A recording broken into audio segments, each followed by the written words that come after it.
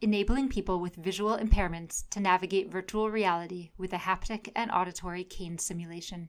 Virtual reality experiences today rely primarily on the visual channel to create an immersive experience, which makes them inaccessible for people with visual impairments. We created a novel VR experience by using haptic and audio feedback to enable people with visual impairments to experience the virtual world.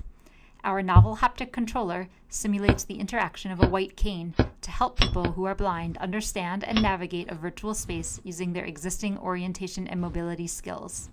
This haptic controller is paired with an HTC Vive headset used for tracking the user's head position and for delivering 3D spatial audio through headphones. No visual feedback is rendered in front of the user's eyes.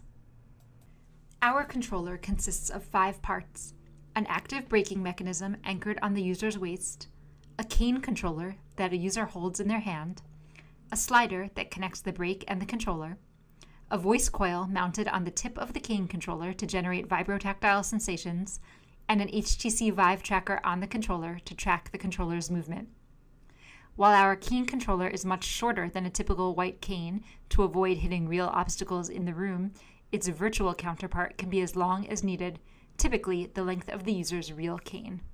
When the virtual cane hits on a virtual object, for example, a trash can, the brake stops the controller from moving generating the illusion that a real object stopped the cane's movement. Meanwhile, the voice coil generates a vibration that simulates the high frequency vibration when a cane hits a real object. The system also provides corresponding 3D spatial sound to simulate the sound of a real cane hitting on a specific object. With the tactile and audio feedback, a blind user can walk along a virtual wall by continuously sweeping and tapping the wall, which is a standard cane skill called shorelining. Another standard cane technique is called constant contact, which is when a user sweeps the cane controller on the ground. The voice coil generates corresponding vibrations to simulate the texture of the ground. Our controller modulates both amplitude and speed of the audio and vibrotactile feedback based on the user's movements. For example, our controller can render tactile domes on a crosswalk ramp.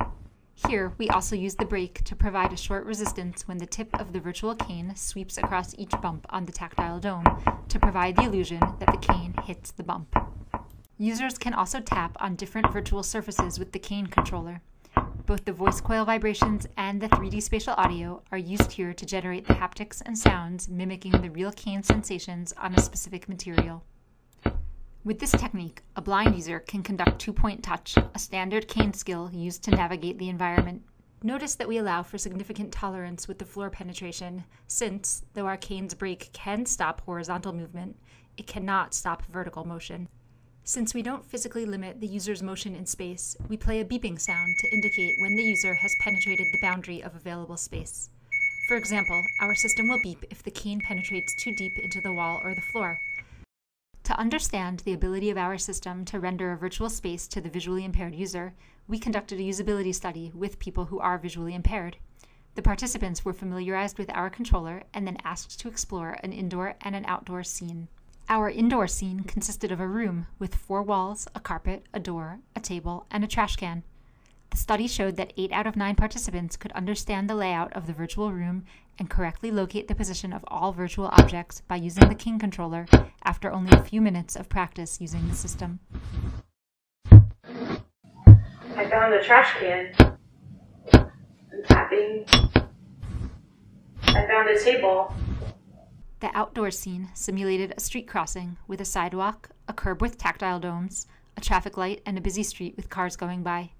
Participants were able to identify different parts of the scene, understand the flow of traffic in the street, and were able to cross the street based on the audio signal from the traffic light. I found the domes at the traffic light. I found the pole with the traffic light button. Our study provides evidence that our novel virtual reality cane controller enables people who are blind to explore and understand an unfamiliar virtual space. This technology has the potential to enable novel, accessible applications for virtual reality, such as orientation and mobility training.